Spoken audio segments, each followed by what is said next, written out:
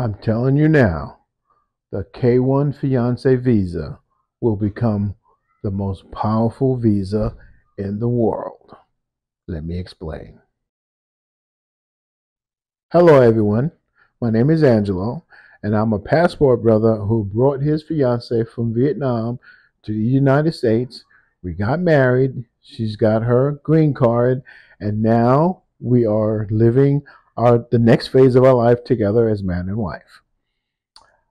I am here today to talk to you about a statement I made in one of my previous YouTube videos where I mentioned that the K1 visa will become one of the most powerful visas in the world. And I will explain why I came to that conclusion with some hard numbers. Um, but first, I need to explain that the K1 fiance visa is a non immigrant visa. And it's a non immigrant visa because the primary purpose or the sole purpose of the K1 visa is for entry to the United States for marriage. Nothing else. It mentions nothing else. Doesn't mention becoming a citizen, doesn't mention becoming a permanent resident, doesn't becoming doesn't mention going to school, getting a job, anything. The primary reason for the K1 fiance visa is for entry, legal entry into, into the United States for the purpose of marriage.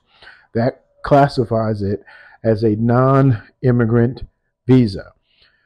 An immigrant visa or an immigration visa is a visa designed or specifically issued for the purpose of entering the United States and then following the legal path to become a permanent resident, to go to school, to get a job, and possibly become a naturalized citizen. That's why it's called a an immigration visa.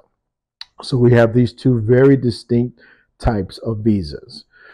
So now, the K1 fiance visa, what men use it for now is they, uh, particularly single men, they use it when they travel abroad and then they meet someone and then they develop a relationship and then they want to marry that person, um, but they want to get married in the United States. So the K1 visa is issued to that foreign born person so they can enter the United States for the purpose of marriage.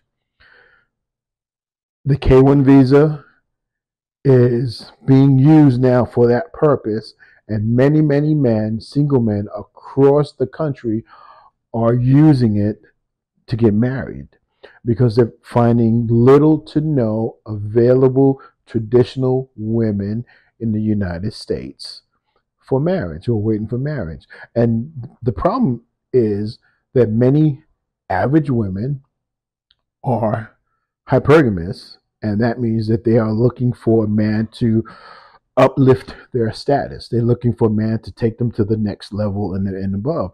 So many women are looking for that top 10% of men. And then that leaves average men like myself just out there with no one to turn to. However, we've made use of the K1 fiance visa and the Passport Brothers movement to find suitable traditional wives.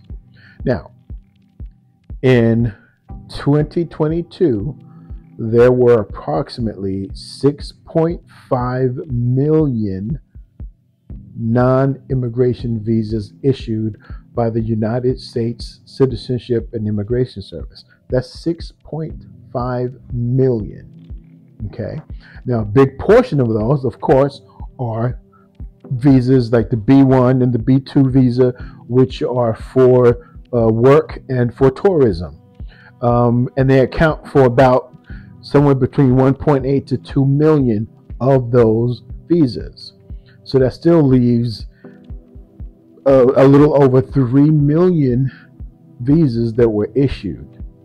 Now, in 2023, there were approximately 10.1 million non immigration visas issued by the United States Customs and Immigration Service. USCIS. That means even if all of the amount of visas or different types of visas grew, they still grew by over 50%. And that means that there's a big chunk of that 10.1 million visas that can be attributed to the K1 visa.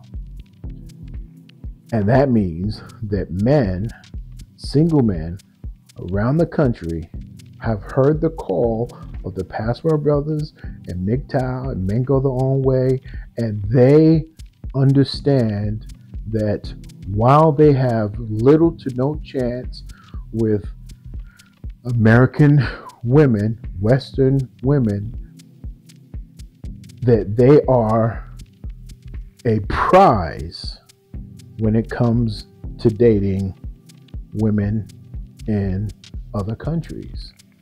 And so they're going to be taking advantage of that. And they've already seen, they've already made that movement. The shift has already started.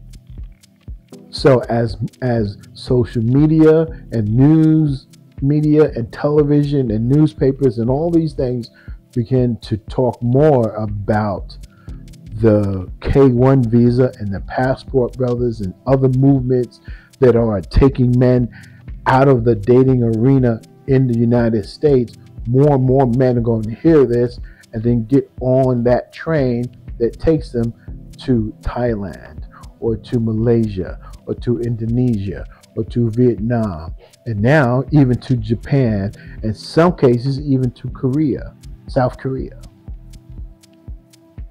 Germany is another place, Colombia, South America. There are so many other places around the globe where the average man, hardworking, blue collar, honest man who, who wants to be a dutiful husband and take care of and support his wife, they are a prize and they will be respected. So, mark my words, over the next few years, you will see on YouTube and Instagram and TikTok so many more women complaining about K1 visas and men marrying foreign women and men leaving American women and how the the pool of available men is even more shallow. And that's because men are going to be fed up with the double standards and the lack of appreciation and the lack of respect. And they're going to go to where they are loved and appreciated and desired. And so I give it a few years be- before the word K1 visa strikes fear into the hearts and minds of all of these Western women. Mark my words, it's bound to happen. Thank you for sitting here and uh, listening to my video. I appreciate your time. As always, thank you so much. Uh, please, if you have any comments, uh, leave um, a comment or you can like this video if you appreciated the information that was contained. And of course please subscribe. I'm trying to get to uh, a thousand subscribers.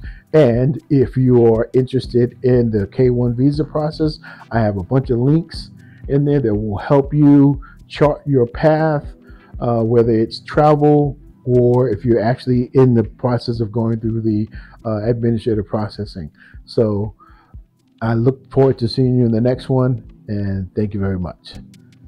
Peace out.